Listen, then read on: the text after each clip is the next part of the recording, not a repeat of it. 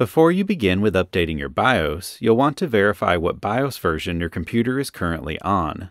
To do so, click on the Start button, type System Information, and click on System Information in the search results. When the window opens, to the right, you should see BIOS version slash date and your current BIOS version, in my case 1.06. Now, you can close this window and go to support.acer.com. In the left column, click Drivers and Manuals, and then enter your serial number, SNID, or model number, and press Enter. Once it finds your correct model, scroll down past the drivers and expand the BIOS and firmware section. Here you'll find each BIOS update, when it was released, and the version. Find the one that you'd like to install and click Download. Once it's finished downloading, go to where you save the file, right click on it, click Extract All, and then click Extract.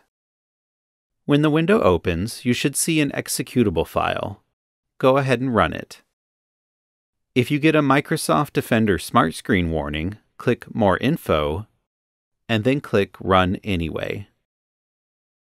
When Windows asks if you want to allow the app to make changes, click Yes. It'll take a few moments, and the Flash Firmware tool will open. It'll show you your current BIOS version, as well as the BIOS version that you're updating to.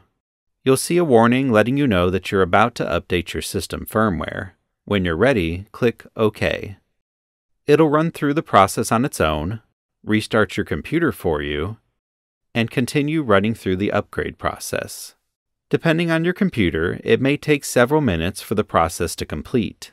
Once it's finished, it'll restart and load back into Windows. And if you check system information again, you'll see that you're now on the updated BIOS version. If you have any questions, you can always visit the Acer community or our Acer support site, and don't forget to subscribe.